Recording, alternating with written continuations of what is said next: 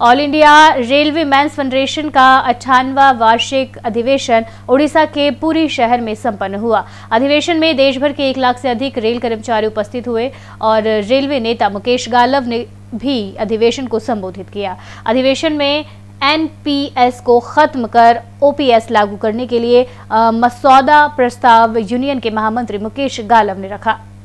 Railway federation का अंठानवा वार्षिक अधिवेशन 29 और 30 नवंबर को भगवान जगन्नाथ की पावन धरती पुरी पर उड़ीसा में संपन्न होने का काम हुआ है। 2020 से 30 जून 2021 के बीच की अवधि के लिए जो महँगाई भत्ते और महँगाई राहत, हमारे सर्विंग एम्प्लॉयज़ के लिए महँगाई भत्ता और रिटायर्ड एम्प्लॉयज़ के लिए महँगाई राहत, जिसको रोका गया था कोविड के नाम पे, और उसका अभी तक भुगतान सरकार ने किया नहीं। है इससे रिटायर्ड लोगों में रिटायर्ड सरकारी कर्मचारियों में और कार्यरत कर्मचारियों में भारी रोष व्याप्त है।